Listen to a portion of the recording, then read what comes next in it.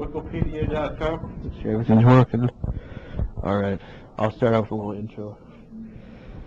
Well, ladies and gentlemen, welcome to another edition of the Franky Slawson Show. Uh, it's actually a special edition right now because, uh, believe it or not, you'll never guess who I have the chance of interviewing right now.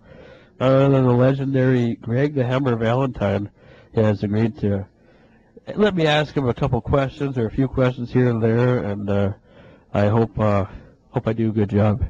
Anyway, thanks for letting me interview you. Oh, you're welcome. You're welcome.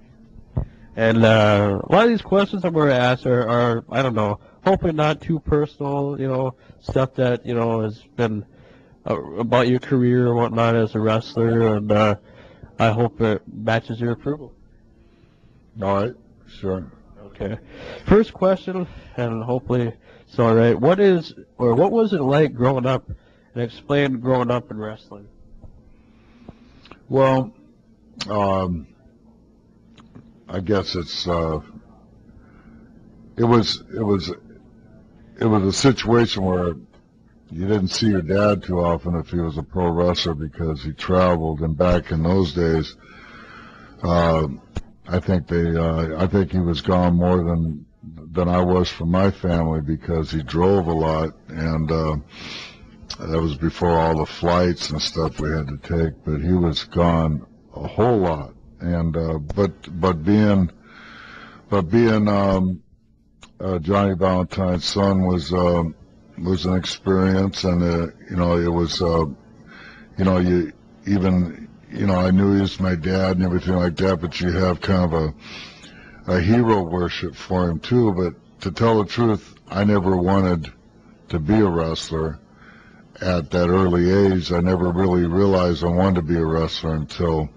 uh, age 19 when I went on a road with him. Okay. And uh, was he was he kind of like your inspiration towards wrestling, kind of? Yeah, absolutely. Because I watched wrestling and and um, where I grew up around Portland, Oregon, the wrestling that I saw was pitiful. There was a couple of guys that were okay, but uh, it was basically, you know, you could tell it was just a bunch of BS. I didn't like it, and uh, but I would see my father wrestle, and I'd see his uh, matches uh, come over from New York or L.A. or some of the bigger cities and come into our area, and uh, I would see a difference. Uh, uh, it was a lot more realistic. Okay. Did you, or before you thought of the idea of wrestling, was there ever a possibility that you uh, uh, take up college at all before you started wrestling, or? Well, I was going to college. I'd already done a year at Lower Columbia College, and um, in in uh, just north of Portland, Oregon, and um, I basically uh, went on the road that summer after my first year in college. That summer, and uh, I was um, on the road with my dad in Texas. He was a Texas heavyweight champion for three months, and they were it was a blast. And after I watched him perform, and he was undoubtedly, and I'm not saying it just because I was his son. I'm not prejudiced. I'm saying it because it's truth. It's true that Johnny Valentine was the greatest wrestler I'd ever saw, and when I watched him for several times. Uh, uh, some of the greatest matches I can really recall against Wahoo McDaniel, Fritz von Erich, Mil Mascaras, uh, in Houston, sellout crowds in Dallas, Houston, San Antonio, that whole circuit there. And uh, I was swept off my feet, and and I I realized that uh, I wanted to try it. Another question that I had. It was way back in your early days. You you wore a shirt that said "I wore" or "I broke Wahoo McDaniel's uh, leg." Can you explain that? Well, actually, uh, it wasn't my idea to wear that. The promoter says, "Hey, I got a T-shirt for you." He says, "I, I want you to wear this." And I took uh, pictures with it, and I wore it around, and I got a couple other ones, and it was just uh, it was braggadocious, and and um, you know I I thought it was kind of silly, but you know what? Uh, the silliness really really uh, got a lot of heat from me. The people hated that, and and that's what the promoter wanted, and so I gave it to him. Sounds good. Uh, now, if you w- will, ex- explain uh, your early days, uh, starting with NWA, WWWF, or the Worldwide Wrestling Federation, for all you people who wonder what that meant, and then, of course, the WWF and WCW.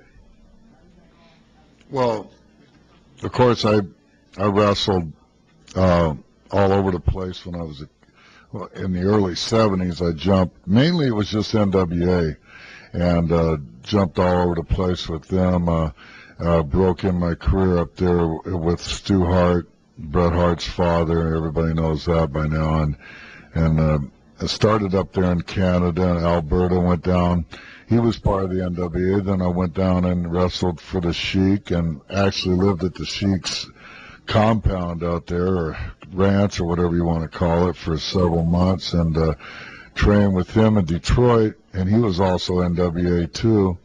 And uh, later on, hooked up with Donnie Fargo, uh, became the Fargo brothers. Uh, all this time, I was using different names. Uh, never using my real name, which is Greg. Never used Greg Valentine um, until around 1973, when I thought I could uh, actually uh, uh, carry it. Everybody, everybody realized and and and watched me and says, "Oh, you look like Johnny Valentine," because I look very much like my dad, and uh, very, very much. But um, uh, you know, after Fargo and I split up, and Fargo was uh, was a very good trainer. He trained me a lot about the business. I went in 1974, went to the NWA uh, by recommendation of Jack Brisco, who was a world champion. Went down to Florida, and that's really where Greg Valentine had his birth. In Florida, okay. Uh, how about okay? Your Vince McMahon and the WWF. How did that happen? Well before we go that far, in Florida in 1974, did very, very well down there, and, and uh, it was a great place to learn wrestling, Florida's Championship Wrestling, which was owned by Eddie Graham, and they did really, really wrestling. It wasn't BS wrestling. It wasn't pulling hair, poking eyes, gimmicks, uh, pulled out of the pants and chairs and tables. It was wrestling, and uh, and and they had real good rules, strict rules. It was great, great wrestling territory. Uh, George Scott, who was a booker in uh, for the NWA up in Charlotte, North Carolina, Mid Atlantic Championship Wrestling. My dad had suffered a plane crash in 1975, and he was crippled from the waist down and he was basically what was holding that whole territory together. He was he was the main star up there. Johnny Valentine, Mid Atlantic, made it what it was at that time, and he kept calling me and calling me and calling me, telling me to come up. And I'm really realizing that uh, these are some real big shoes I've got to fill, and I didn't think I was ready for it. And um, but he kept calling and calling. So 1976, I went up to Greensboro Coliseum and wrestled up there. It was a sellout crowd, which I guess is about 18, 19,000 people, and that was the biggest show in the Carolinas, Greensboro Coliseum. I wrestled Johnny Weaver, and that was Johnny Weaver's last match. They set it up to where I was the guy that ended his career, and he had a big time career in the Carolinas, Johnny Weaver. I dropped the elbow off the second rope across his throat, and they carried him out, and that was it. After that, they started bringing me in in and out, in and out. Eventually, they tagged me up with Ric Flair, and uh, we took off and uh, became the world champions. And I stayed there. It was a great area for me. And 1979, we got a call from Vince McMahon down in, in Carolinas, and the, uh, George Scott's idea was to, to get me out of the Carolinas for a while and go up to New York because they really needed they needed a heel. They needed something new up there. The business wasn't really good up there. And so 1979 is when I, it was January 1979 when I first came up uh, to uh, New York and uh, started doing uh, the tapings over in Allentown, Pennsylvania. Was this now Vince McMahon Jr. or Vince McMahon Sr.? Senior. Okay. Uh, how did uh, the connection with uh, Vince McMahon Jr. Like, was this like after uh, his dad had you uh, be in the wrestling or WWF or? Well, I I came up came up in 1979. Vince McMahon Sr. was running every.